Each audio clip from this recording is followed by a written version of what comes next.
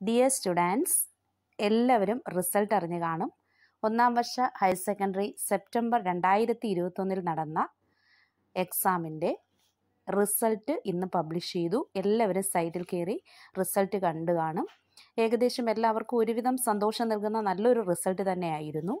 ഇനി ഇതിൽ റിസൾട്ടിൽ അതായത് അതിന്റെ ഉത്തരക്കടലാസിൽ പുനർമൂല്യനിർണയത്തിനോ സൂക്ഷ്മ പരിശോധന ഫോട്ടോസ്റ്റാറ്റ് എന്നിവ എടുക്കാൻ താല്പര്യമുള്ളവർക്ക് നിർദ്ദിഷ്ട ഫോറങ്ങളിൽ അവർക്ക് പറഞ്ഞിരിക്കുന്ന ഫീസുകൾ.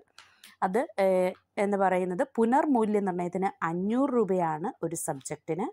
അതുപോലെ സൂക്ഷ്മ പരിശോധന നടത്താൻ ഒരു സബ്ജക്റ്റിന് നൂറ് രൂപയും ഫോട്ടോസ്റ്റാറ്റിന് മുന്നൂറ് രൂപയുമാണ്.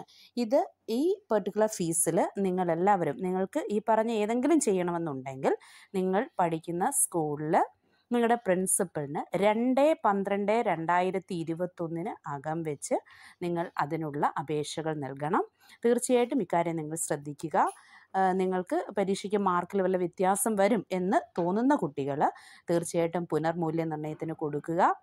അതുപോലെ തന്നെ എല്ലാവരും വളരെ ഹാപ്പി ആയിട്ടിരിക്കുക.